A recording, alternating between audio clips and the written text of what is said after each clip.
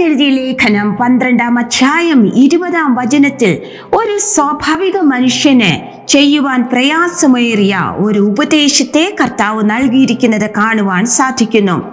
അവിടെ ഇങ്ങനെയാണ് വായിക്കുന്നത്. നിന്റെ ശത്രുവിന് വിശക്കുന്നു എങ്കിൽ അവന് തിന്മാൻ കൊടുക്ക ദാഹിക്കുന്നു എങ്കിൽ കുടിപ്പാൻ കൊടുക്ക.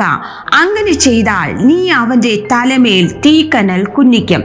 നമ്മുടെ ബലഹീന സമയങ്ങളിൽ നമ്മുടെ വീഴ്ചകളിൽ താഴ്ചകളിലൊക്കെ നമ്മൾ ഉപദ്രവിച്ച വ്യക്തികളെ നാം ഒരിക്കലും മറക്കാറില്ല. അവരുടെ ബലഹീന സമയങ്ങൾ വരുമ്പോൾ ഉപദ്രവിക്കുവാൻ പോയില്ല എങ്കിൽ പോലും അവർക്ക് ഉപകാരമൊന്നും ചെയ്യാതിരിക്കുവാനാണ് ഒരു സാധാരണ മനുഷ്യൻ ശ്രമിക്കുന്നത്.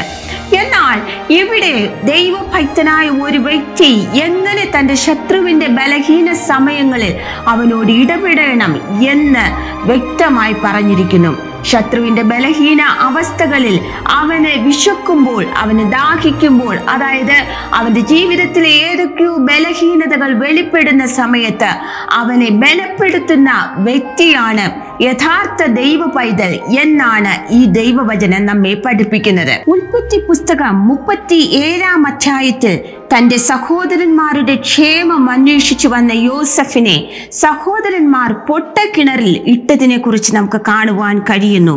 ഏറ്റവും വലിയ ദ്രോഹം അവനോട് ചെയ്തതിന് ശേഷം അവൻ വിഷന്ന് നിലവിളിച്ച് ആ പൊട്ടക്കിണറ്റിനകത്ത് ആയിരിക്കുമ്പോൾ അവന്റെ ശബ്ദത്തിന് കാതോർക്കാതെ തൊട്ടപ്പുറത്തിരുന്ന് ഭക്ഷണം കഴിക്കുന്ന സഹോദരന്മാരെ കുറിച്ച് ഉൽപ്പത്തി പുസ്തകം മുപ്പത്തി ഏഴാം അധ്യായം ഇരുപത്തി അഞ്ചാം വചനത്തിൽ നമുക്ക് കാണുവാൻ കഴിയുന്നു. അന്നത്തെ സമയത്ത് യോസഫ് നിരാലംബനാണ്. അവനെ സഹായിപ്പാൻ ആരുമില്ല.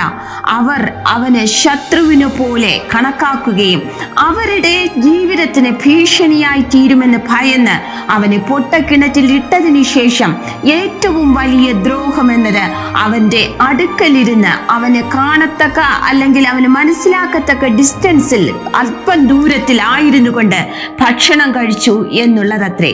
എന്നാൽ അവരുടെ പ്രതീക്ഷകൾക്ക് വിരോധമായി അവർക്ക് ജീവിതത്തിൽ താഴ്ചകൾ സംഭവിക്കുവാൻ ഇടയായി തീർന്നു ലോകമെങ്ങും വ്യാപിച്ച ഒരു ക്ഷാമകാലത്ത് ഭക്ഷണത്തിന് വേണ്ടി ആ പഴയ യോസഫിന്റെ മുന്നിൽ നിൽക്കുന്ന വരി വരിയായ അവന്റെ ധാന്യത്തിന്റെ അളവിന് വേണ്ടി കാത്തു നിൽക്കുന്ന സഹോദരന്മാരെ ഉൽപ്പത്തി പുസ്തകം നാൽപ്പത്തി മൂന്ന് നാൽപ്പത്തിനാല് അധ്യായങ്ങളിൽ നമുക്ക് കാണുവാൻ കഴിയുന്നു.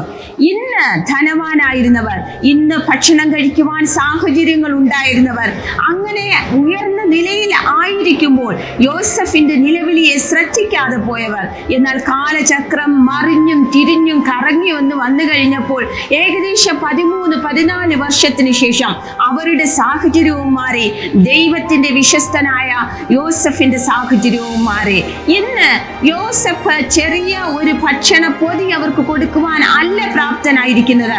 മറിച്ച് ചാക്ക് കണക്കിന് മുന്നിൽ നിൽക്കുന്ന വ്യക്തികൾക്ക് ധാന്യം അളന്നു കൊടുക്കത്തക്ക ഒരു നേതാവായി ഒരു ഭരണാധികാരിയായി അവരുടെ മുന്നിൽ നിൽക്കുമ്പോൾ അവൻ അവരുടെ ശത്രുവിനെ പോലെ ഇടപെട്ടില്ല. മറിച്ച് അവരെ മനസ്സിലായിട്ടും അവരോട് ദയവോടുകൂടെ ഇടപെട്ടു. അവരുടെ ക്ഷേമം അന്വേഷിച്ചു. കുടുംബത്തിലെ മറ്റു വ്യക്തികളുടെ ക്ഷേമം അന്വേഷിച്ചു. അത് മാത്രവുമല്ല അവർക്ക് ആവശ്യമായ ഭക്ഷണവും ധാന്യവും നൽകിയതായി നമുക്ക് കാണുവാൻ കഴിയുന്നു. തികഞ്ഞ ഒരു ദൈവഭക്തനായ പൈതലിനത്രേ യോസഫ് ഇവിടെ പ്രതിനിധീകരിക്കുന്നത്. ഇന്ന് നിങ്ങളുടെ കഷ്ടസമയത്ത് നിങ്ങളെ ചിലരൊക്കെ ദ്രോഹിക്കുന്നുവോ? നിങ്ങളെ മറന്നു കളഞ്ഞിരിക്കുന്നുവോ? നിങ്ങളുടെ കണ്ണിൻ മുന്നിൽ വെച്ച് സമൃദ്ധിയുടെ മേഖലകൾ അവർ തേടിപ്പോകുന്നുവോ? സമൃദ്ധമായ ജീവിതചര്യകളിൽ അവർ ആയിരിക്കുന്നുവോ? നിങ്ങൾക്ക് എന്താണോ ഇല്ലാത്തത് അത് അവർക്ക് ഉണ്ട് എന്ന് കാണിച്ച് നിങ്ങളെ അധികം വേദനിപ്പിക്കുന്നുവോ? കാത്തിരിക്കുക. ദൈവം വച്ചിരിക്കുന്ന ഒരു സമയമുണ്ട്.